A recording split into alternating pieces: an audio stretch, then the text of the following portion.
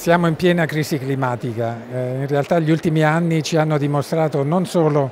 che le cose non stanno andando meglio, ma anzi che tutti i parametri legati ai cambiamenti climatici sono in fase di accelerazione. Uh, l'aumento dei gas serra in atmosfera, l'aumento delle temperature globali, l'innalzamento del livello del mare, lo scioglimento dei ghiacciai, l'aumento di eventi catastrofici legati al riscaldamento globale stanno tutti non solo aumentando ma accelerando. Quindi è molto importante che eh, si, eh, si agisca subito per evitare di superare quelle soglie al di là delle quali poi non si tornerà più indietro. Oggi noi sappiamo quali sono queste soglie,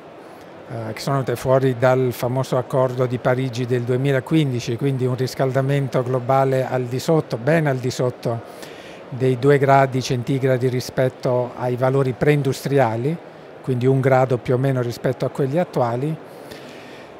Sappiamo anche che è possibile raggiungere questo obiettivo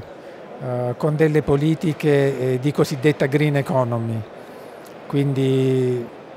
sostanzialmente decarbonizzazione del sistema energetico, eh, maggiore efficienza energetica, passaggio a eh, fonti energetiche eh, alternative e rinnovabili, eh, riforestazione, economia chilometro zero, economia circolare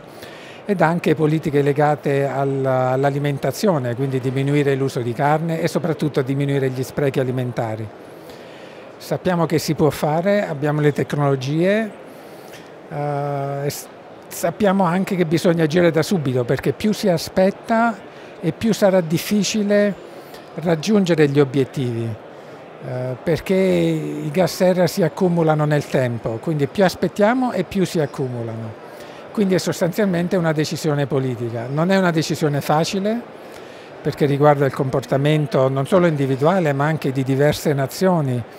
e tutte le nazioni hanno diverse esigenze. Nelle nazioni già industrializzate questa transizione ecologica sta già avvenendo nelle nazioni emergenti come Cina, India, eh, Sud America, Africa, eh, purtroppo mh, sono ancora in fase di pieno sviluppo ma con l'uso dei eh, combustibili fossili. Quindi è molto importante che ci sia dal nostro lato un cambiamento culturale verso la transizione ecologica e d'altro canto una trasmissione di tecnologie verdi dai paesi industrializzati ai paesi più poveri, ovviamente